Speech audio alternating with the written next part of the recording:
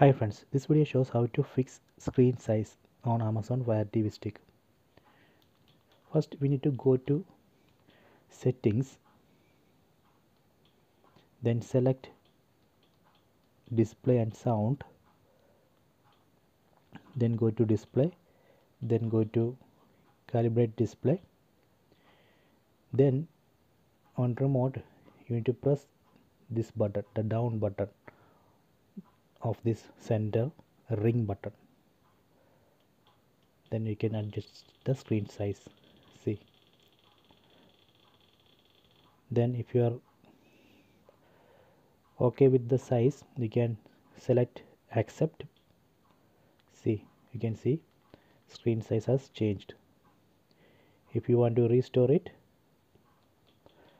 you can again go to settings I'm going to reset the display back to normal. Then go to display and sound. Then display. Then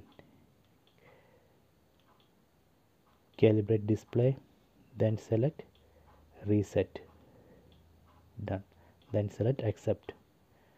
So this way we can we can fix screen size on amazon fire tv stick i hope you enjoyed this video. Please subscribe my channel. Please like and share the video